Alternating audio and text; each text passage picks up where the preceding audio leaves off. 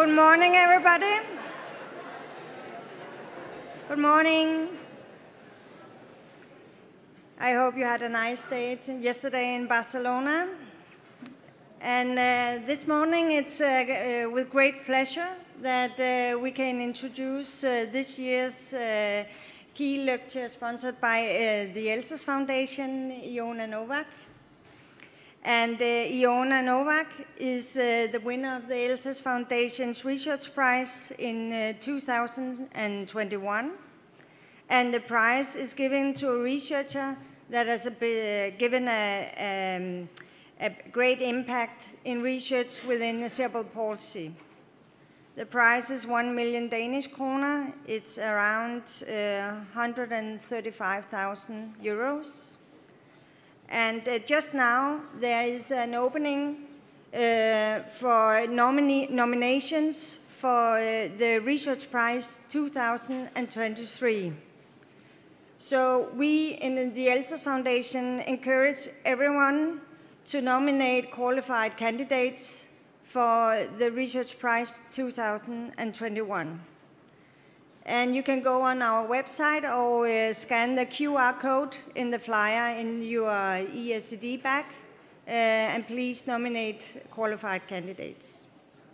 The deadline is the 31st uh, of May, so you have approximately a week. We hope to get a lot of candidates. and uh, now I will pass the word to uh, Bernard Dan, uh, also a former uh, winner of the uh, uh research prize in the Elsass Foundation, and you will introduce uh, Iona.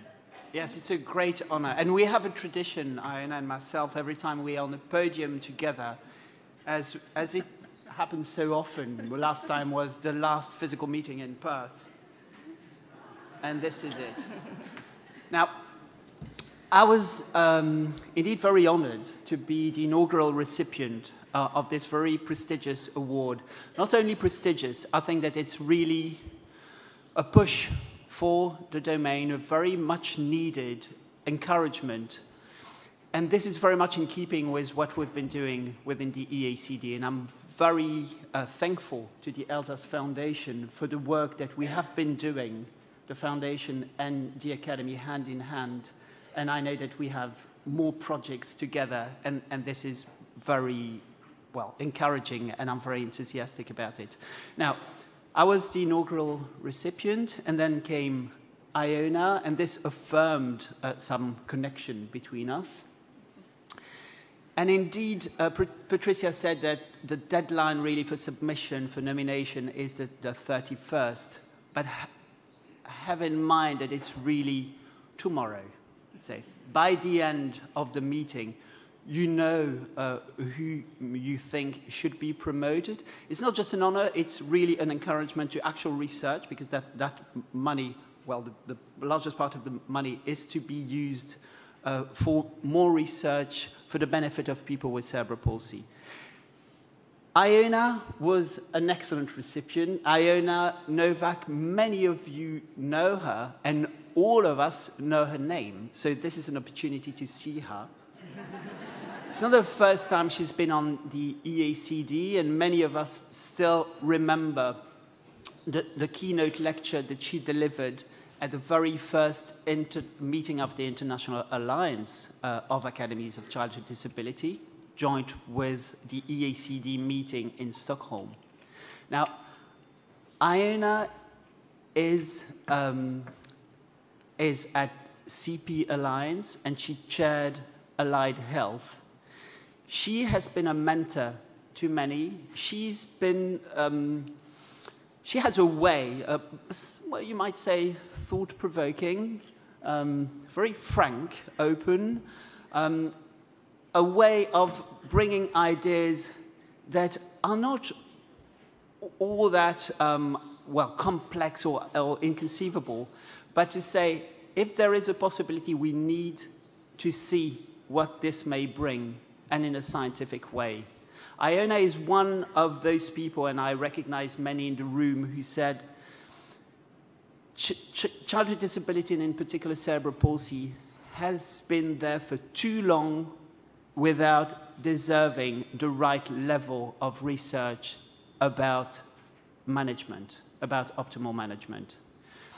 As I say, the ideas to start with are not all that complex, and the first resource might be open resources like Wikipedia. But as Iona will uh, tell us, there might be more to cerebral palsy than what we can find on Wikipedia. Iona.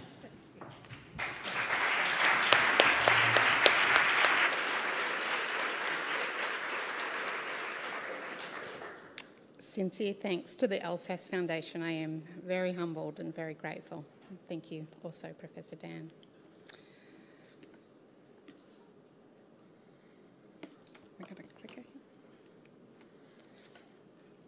When Cooley Coley was born with cerebral palsy, the villagers where she lived told her parents to drown her in the river. Her parents, fortunately, never followed their advice. And today, she's a poet. And I want to read you something from one of her most important poems called Mine. I have a dream. Please don't influence it. It belongs to me. I have to follow a path. Please don't obstruct it. It belongs to me. I have an amazing life. Please let me live it. It belongs to me. I have a choice. Please don't choose it for me. It belongs to me. So, how many choices does she have when it comes to treatment? And do we make those choices for her? Or does she get to make those choices? It's said now that medical information doubles every 73 days. When we recently looked at the cerebral palsy literature, there are over 180 different intervention options. That's a lot of choices. We also found in the last six years that the information just at the high quality level had tripled. And there's no reason to think that this exponential curve might slow down. So, how do we make all these choices? Well, today's talk is what Wikipedia can't tell you. Wikipedia can be updated, but it can't interpret change and whether that change matters. Wikipedia can't read children's minds. And Wikipedia can't make your decision for you. So, Wikipedia can be updated, but it can't interpret changes. So I, today I'm going to talk about the top five things that I think have changed in the cerebral palsy field recently and why they really matter for intervention choices. The first of these is that in high income countries, the rate of cerebral palsy has fallen by a staggering 30% after 60 years of the rate being the same. This means that this condition is partially preventable this work has come about through extraordinary collaborations with obstetricians and neonatologists, thinking about very early interventions for mothers and for children. Very early interventions. Not only has the rate fallen, but the condition has a less severe form if you're born in a high income country and people are born with less comorbidities, such as epilepsy and intellectual disability, than ever before. So, if we look at this data here from the Australian Cerebral Palsy Register, in the 1980s, about half of people with cerebral palsy could walk. Now, three in four people can walk. And what does that mean? It means that these smaller injuries and less comorbidities mean people are more likely than ever before to respond to interventions.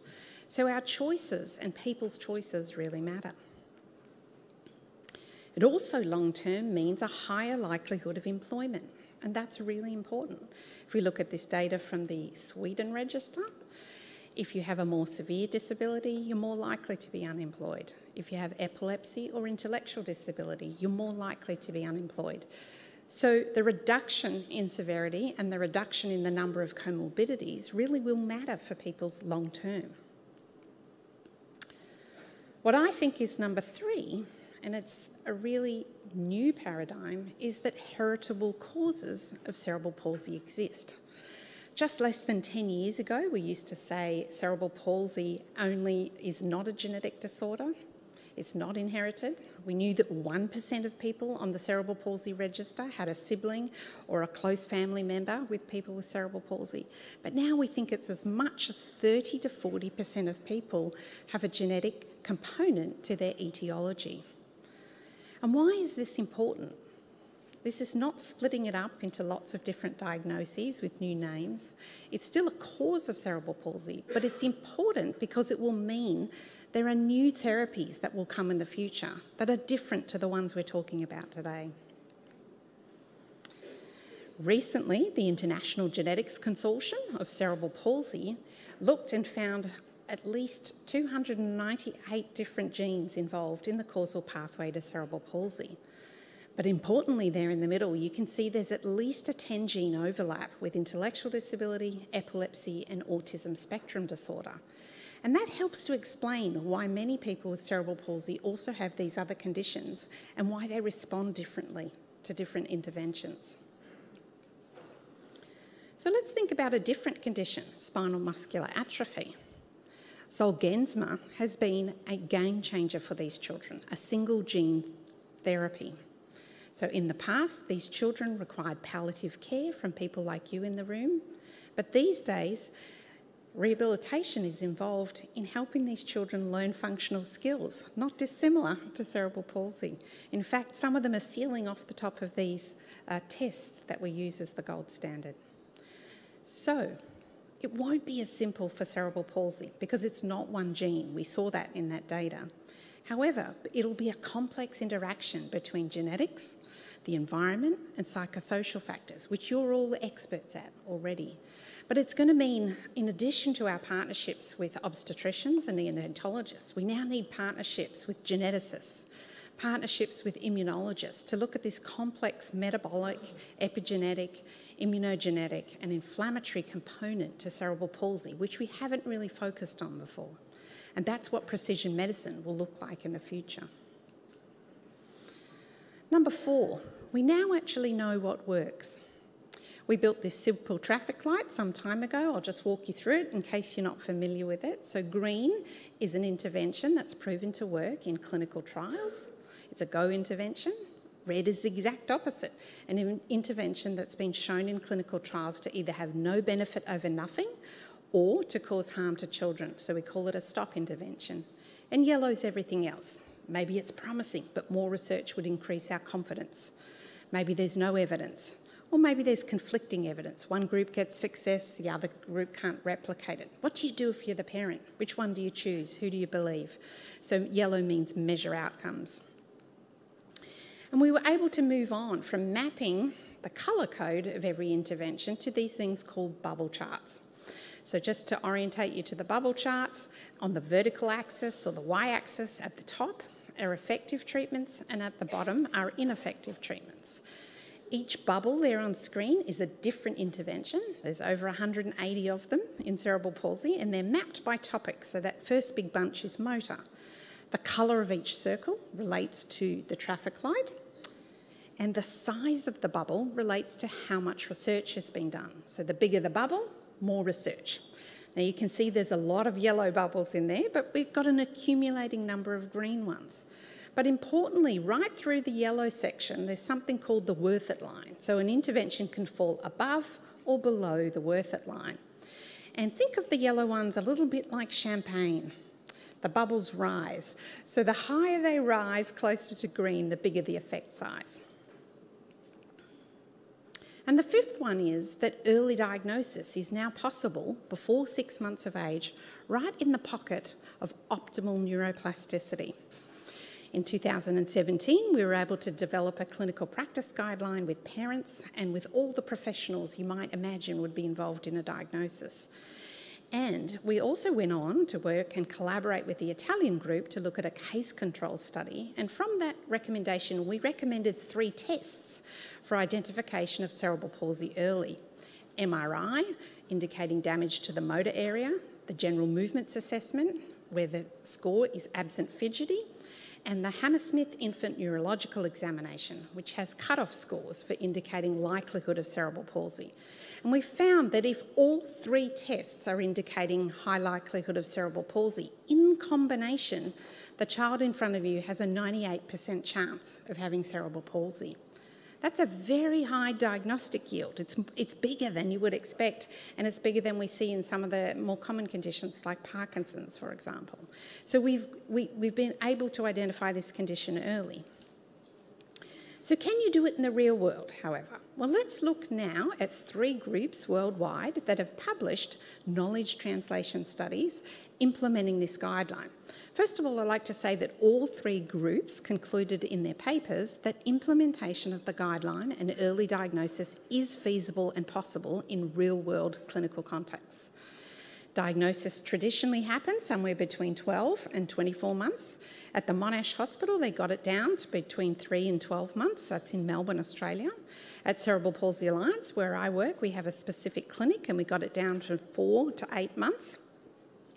And in an important large network in the United States, they got it down to nine months. So you can see it is possible to get children a diagnosis early. Now, diagnosis is not a destination, it's a gateway to the right intervention, ability to make choices. So, we all believe in early intervention. We heard an important keynote yesterday from Mijna Hadders-Algra. And where is this data going? So I'll just show you some preliminary data from one of our trials called the REACH trial, because now we can diagnose early, we can also start trials early and advance this evidence base. This randomised trial was comparing a green light intervention known as constraint-induced movement therapy head-to-head -head with bimanual therapy, another green light. So we know in older children they're equally effective. We wanted to know whether they're the same in young children, in babies. And they are, they work the same. But importantly in this data, you can see on the difference between the purple, the early line, and red, the late line, that if you had treatment early, you had a far superior result. And this fits with the neuroscience literature we saw come out of Columbia some time ago in kitten studies showing that early training before the brain had finished the connection to the corticospinal tract into the spine was very, very important before six months of age. And this is one of the first human data studies to show this in cerebral palsy. So the traffic light currently says lots of yellow bubbles, small ones, for early intervention, only because we haven't been able to diagnose. So we've had mixed populations in those studies. But I think what we're going to see next time we update this paper is that those bubbles are all going to accumulate into one green bubble that tells us that if you do motor training before six months of age, that is task specific and that involves child led activities, child active movements, and involves problem solving, will actually be an effective intervention. That's where this evidence base is going. Okay, so Wikipedia can't read children's minds. I learnt this very early in my research career. One of the first times I used a test called the Canadian Occupational Performance Measure, or the COPM, to ask children about their goals, I asked a sassy four year old what she would like to do. Now, before I tell you her answer, the important thing to know was we were doing a randomised controlled trial looking at the effectiveness of upper limb botulinum toxin injections compared to control. And here's what she said. I'd like to pee in the backyard like my brother. Her mother laughed just as you're laughing now. And I said, You go, girl. but inside my head, I was saying to myself, Hmm, not sure if you're randomised to Botox or the placebo, where they're really going to be able to help you with that goal. but seriously, children set very important goals and goals that matter to them. And this work is important, and we've been told many times from people with cerebral palsy and the qualitative literature that when you use a goal, intervention is more motivating for them. We also know from the neuroscience literature that motivation induces plasticity. You're more likely to train harder if you're interested. So imagine if I said to you, you're here in this wonderful city of Barcelona, you must learn to cook tapas. Now, if you love cooking, that's probably a really exciting concept to get a new skill. If you hate cooking, you're probably not keen that I've said you have to learn to make tapas. You're thinking, I don't want to learn it because then I'm going to get stuck with the cooking. So, motivation really does matter. It also fosters agency. So just being given a choice fosters self agency. Being the, given the dignity of asked what matters to you fosters self agency. So let's have a look at the evidence around this. This is evidence from the adult rehabilitation literature. This is called a forest plot. It has a line down the middle called the line of no effect. The horizontal white lines are the different studies, and we can see most of them fall on the green side, showing that rehabilitation framed by goals is more effective. And that white diamond down the bottom is the summary, and we can see an effect size there of 0.53. So that's a moderate effect size. Or if you think in standard deviations, it's a half a standard deviation better off if you've had rehabilitation framed by goals. That's a big difference. We tried to repeat the same thing in the cerebral palsy literature. We looked at 74 randomised controlled trials and over 700 children with cerebral palsy. And instead of producing forest plots like that last slide, we produced something called a ROC curve or a receiver operator curve. And that tells you the threshold. How much do you have to do to get a result? So let me tell you about this literature. So imagine this boy here on screen. He wants to learn to climb the climbing frame in his local park. And what this data tells us that is if we went with him to the park and trained on his local climbing frame, you will start to get an improvement at 14 hours of training intervention. If, however, you did you listened to his goal and you took him to the gym, your physiotherapy gym or occupational therapy gym or your rehab centre and you trained on general gross motor, maybe they were real life activities but not specifically his goal, it will take 40 hours to get a result in the playground. So you get faster gains when the training is related to the child's goals. Back to the bubble charts.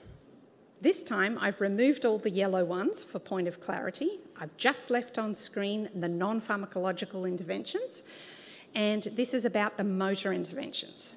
Okay, so if we code these in another additional way, whether they are at the activities level of the international classification, they're training a real life activity, or whether they're a body structures and functions activity um, or training or intervention, we get a very different result. And you can start to see this very strong trend now. It's very clear from data in our field that activities based interventions for people with cerebral palsy produce bigger and more effective results. Let's have a look at some more forest plots. Here's a newer intervention for cerebral palsy, COOP, or Cognitive Orientation to Occupational Performance. It came from the Developmental Coordination literature. There are now four trials uh, in cerebral palsy, and we can see here on this forest plot that the diamond, again at the bottom, shows a 0.86, so a very large effect size, advantageous to use a training approach or an activities approach over a body structures approach. We also had a recent look at the neurodevelopmental or NDT literature. And we talked a little bit about this literature yesterday. So that I often get told, well, it's really, you're a little bit critical of NDT because there isn't much research. There are actually 35 randomised controlled trials about NDT.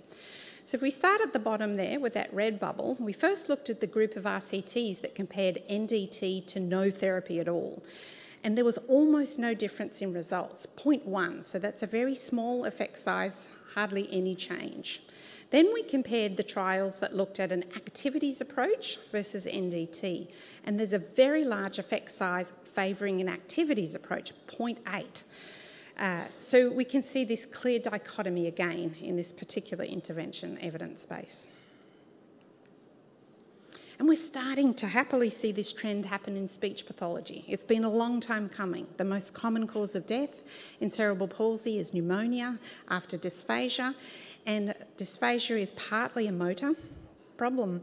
And so we can see here this is in the adult literature, but a training effect from training swallow. And we have a PhD student at our group who's doing this work, Amanda Karmas, with infants with cerebral palsy and getting very similar results. So hopefully we'll have some new interventions soon. Now, we've tried to tie all this information together for you in a clinical practice guideline that looks at who, what, when, and where, how much. So, these recommendations I'm going to show you from this clinical practice guideline now are very simple. They're colour coded, uh, just like the traffic lights. Uh, but if you're a person that loves detail, there is a 60 page appendix that goes through the methodology and the extraction. Yeah, I thought you wouldn't want me to go through that today. I'll just look at the high level findings. Okay, so if you want to train mobility, we recommend a goal directed approach and practice in the real life environment. Here's Willow at home in her house, and her mum set up this beautiful sidestepping activity for her. And this is their house. A very creative mother. She's doing some more weight shift inside her walker. And her goal, her mum's goal, is for her to walk independently without the walker. Okay, so if it was actually to practice walking and speed and endurance, we suggest overground walking, and you can see her here in a range of environments getting a, a real opportunity to be included and be motivated. You could also think about treadmill training, and you can see here partial body weight support and just the intensity. So it's a good way to up the intensity. But of course, it's easier to walk on a treadmill than it is to walk outside, so you have to do overground practice as well. And you could also consider an intervention called HABIT-ILE, hand arm bimanual intensive training, including the lower extremity, and we'll look at a video of that. For hand use, and this is for all types of cerebral palsy, MACS one to four, we recommend a goal directed approach and a task specific approach. So you can see here this uh, opportunity that's been set up by this mum to use both hands.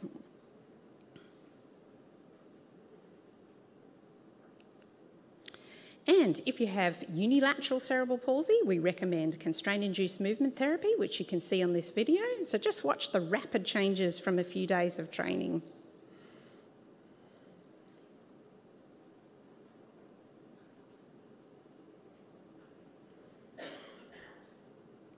The speed and accuracy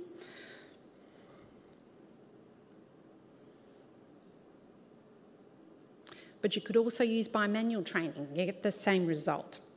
We suggest in yellow, because there's less evidence, co-op or HABIT-ILE, uh, particularly if you're MACS one to four or have dyskinetic cerebral palsy. They could also be helpful interventions. Or bimanual therapy, using two hands together. And this is for people with bilateral cerebral palsy. And again, we suggest you could think about co-op or HABIT-ILE for these children as well. About self-care? We recommended goal-directed training, co-op and HABIT-ILE. The evidence base is stronger there. Habit, sorry, and you could also think about HABIT-ILE. You can see these high volume numbers of repetitions. This is a video of HABIT-ILE. And that's a very intensive training approach. Okay. Now, we also have this guideline written by parents for parents in a series of fact sheets, which you can download for free from our website at cerebralpalsyalliance.org.au.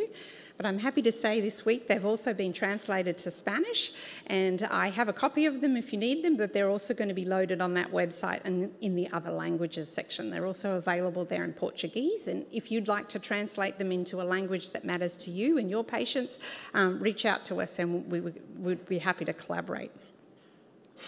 We also have a number of guides there for parents that go through this. Again, this information was co-written by parents and it looks at interventions at different ages that improve function.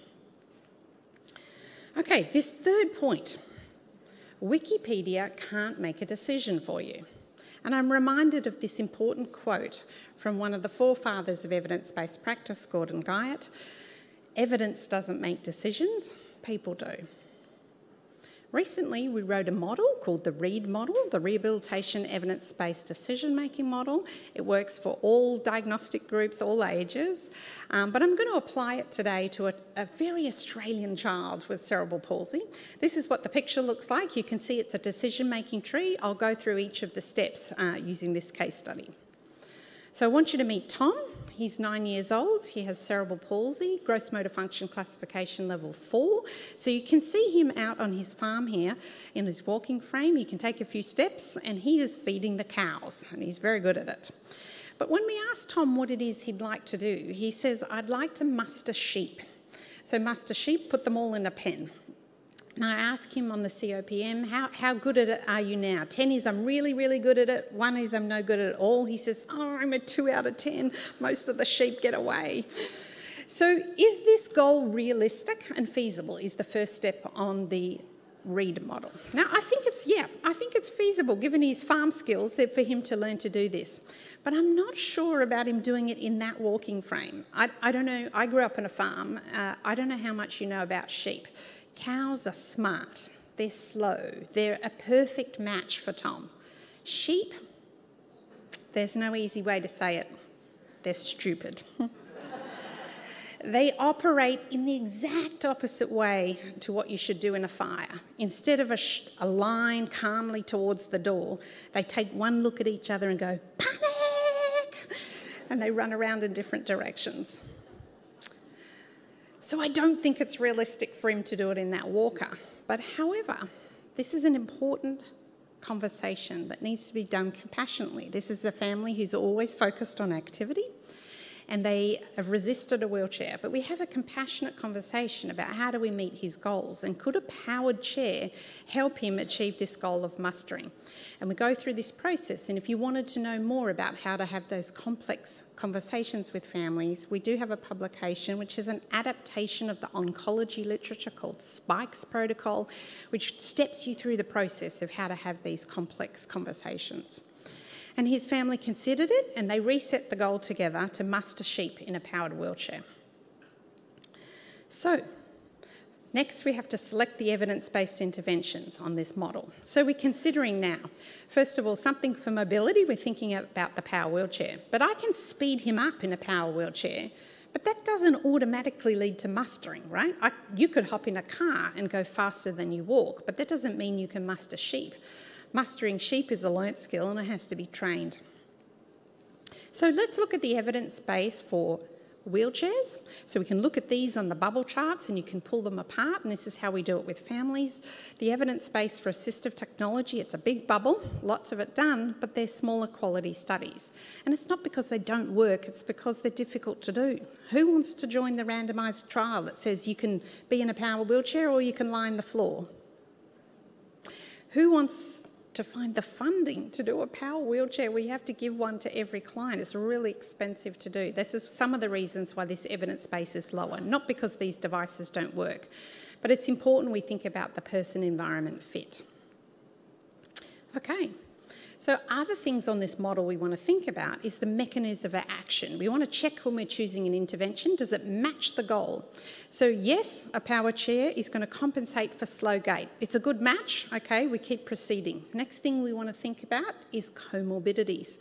In this case, with his glasses on, he has good vision and normal IQ. I think he's a good candidate to learn to use a power wheelchair.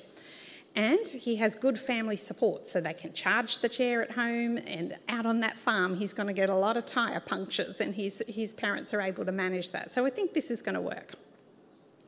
What about this uh, process of learning to muster sheep? Well, I've put a few green bubbles up there uh, on this bubble chart that might be a training intervention. So, goal directed training, home programs, constraint induced movement therapy bimanual. Now, Tom has dyskinetic cerebral palsy. It affects all four limbs. So we can take out constraint and bimanual because they're just for hemiplegic cerebral palsy. They're not appropriate for him. So already we've got a deduction down to two. We might also want to consider co-op because mustering has a motor component, but it also has a cognitive component. You've sort of got to outwit the sheep. So perhaps this is something. It also is showing possibility for people with dyskinetic cerebral palsy. Uh, so we've got three options here. So how do we choose? So we select one of them. These are things. The mechanism of action. Do they match the goal of mustering? Well, yes, all three of those interventions are based on activity dependent plasticity. What about the comorbidities? He has epilepsy, so I have to think about the supervision. He's not going to be able to train outside on the farm unsupervised in case he has a seizure, he's going to need help. So, what's his family support structures? His dad is an expert musterer and is happy to help with the training component and is happy to uh, supervise him. Okay, so now we move on to this component. What is the mode? We've still got three interventions we're trying to choose between. Mode. Mode means how is it going to be delivered? It's equally important to think about this component. Is it going to be face to face? Is it going to be virtual? Is it going to be individual? Is it going to be group? And different interventions, some of them work in all formats, but some of them only work in one format. So you have to know the evidence for that to actually do this decision making. So the wheelchair, of course, has got to be done face to face. We've got to get a good person environment fit. He's got to be able to use that joystick uh, effectively to be able to keep up with the sheep. The mustering, hmm, I don't know about you, but I don't have a lot of sheep at my therapy centre. I have had a kangaroo. True story. This one we agree on telehealth. he lives in a rural and remote area of Australia.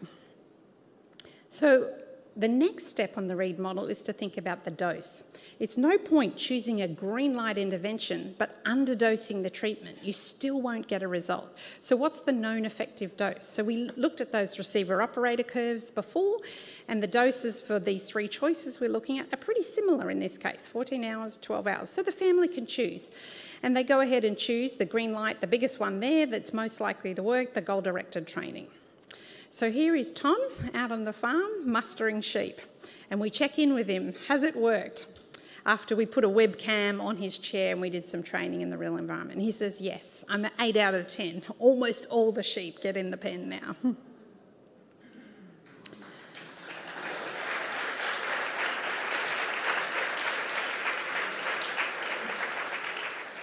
So here are the take home messages. Wikipedia can't interpret change. However, the extraordinary advances in this field in prevention, genetics, evidence options, and diagnosis are changing the size of the effect and also changing the number of options. We're going to have more options in the future. We need to remain open minded about that. Wikipedia can't read children's minds, However, if we ask children what's important to them, activity based intervention that focuses directly on their goal in their environment produces faster and superior results and also more cost effective results to the health system. Wikipedia can't make a decision for you, but the READ model might help you with decision making. Thank you.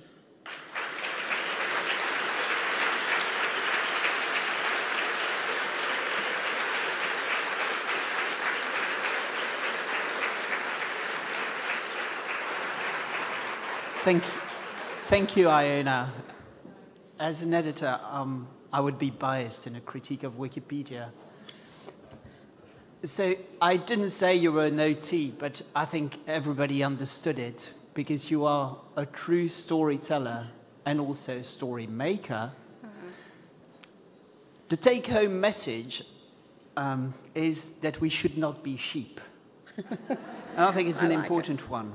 So we, we can take questions, and while you're preparing your question, I have one or two.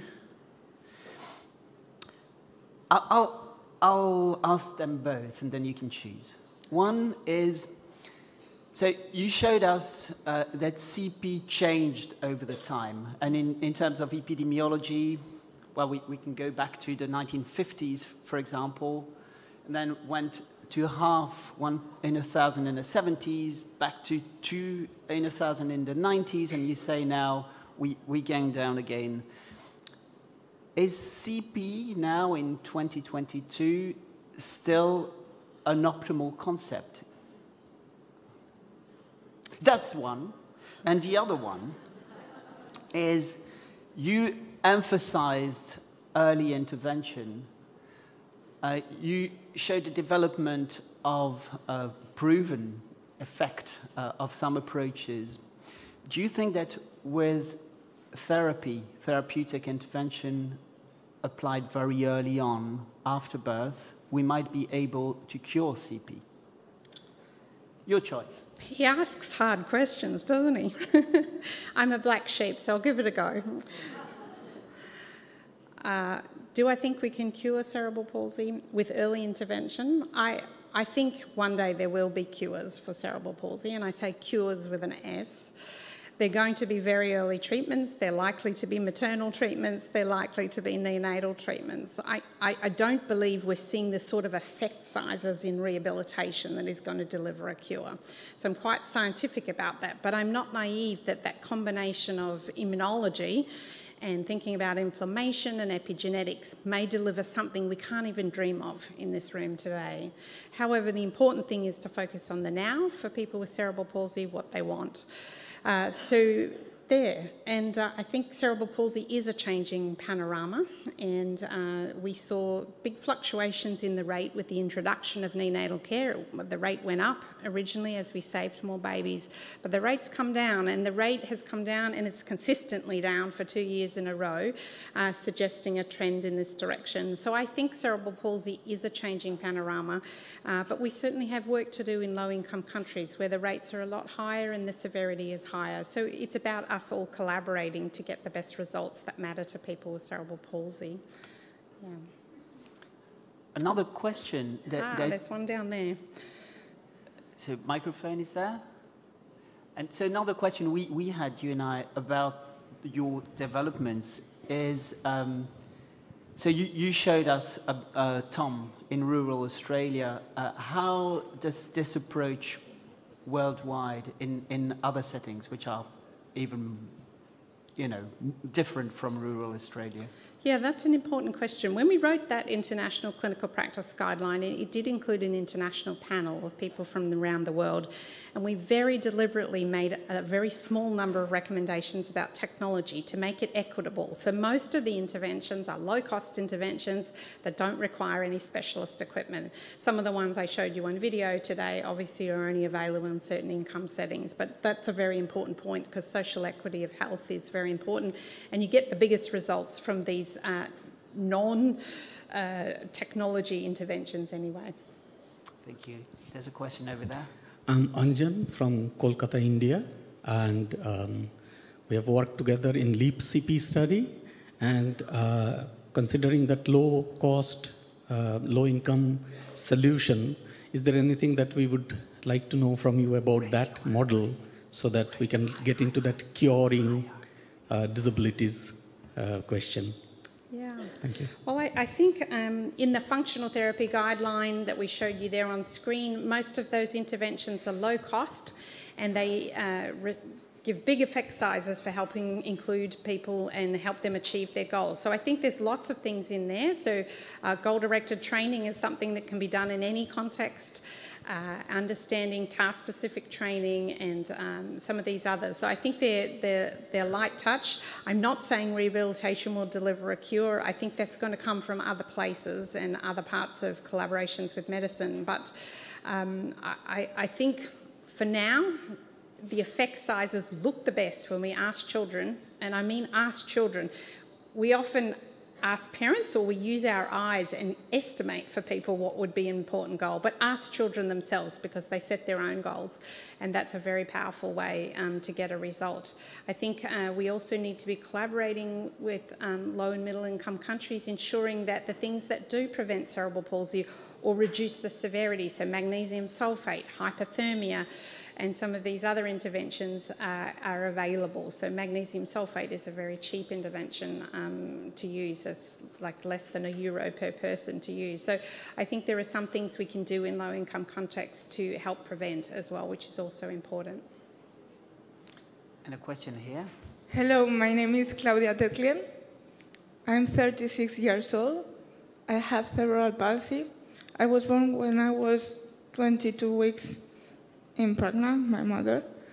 And you really touched me because you give hope for a lot, not you only, all, all of, sorry, all of you because I live a full life with cerebral palsy. I'm psychologist and I'm conference, but I'm an exception nowadays. And I think that the children in the future can live life in the way that they want. with no pain and with less difficulties. And maybe the cure is more soon, is sooner than we think. So I just really thankful for all of you, everything.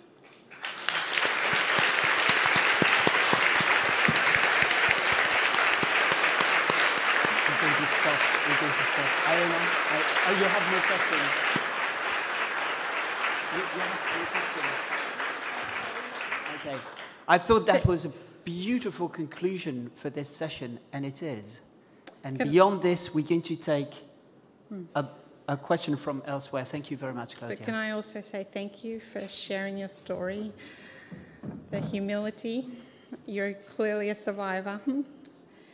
and you are extraordinary, and we're listening to you. Hmm? Thank you very much. And you make a very important point about reduction in pain. Three in four people with cerebral palsy experience pain, and it has an extraordinary impact on your life. And that's one of the simple but important pieces of evidence we can follow. Thank you so much for your wisdom and for coming to this session. I really appreciate you. I work for you.